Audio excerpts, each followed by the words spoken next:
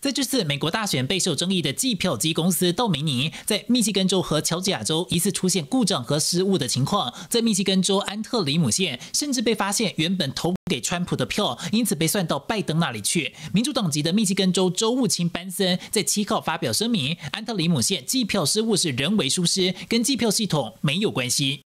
不过，美国总统川普阵营的律师鲍尔却提出更多质疑。他向媒体披露，多位民主党人与道明尼计票公司有利益关系，并借此窃取美国选民投给川普的选票。I also see reports that Nancy Pelosi's longtime chief of staff is a key executive at that company. Richard Blum, Senator Feinstein's husband, significant shareholder of the company. What can you tell us about the interest on the other side of this Dominion software?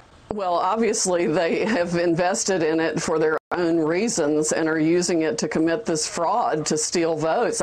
根据彭博政府网站可以看到，道明尼计票机公司在二零一九年聘用了众议院民主党领袖佩洛西发言人的长期助手，且佩洛西的前幕僚长艾尔沙米在二零一九年也成为该公司的游说者。另外，民主党参议员范诗丹，她的丈夫布鲁姆也被披露是这间公司的重要股东。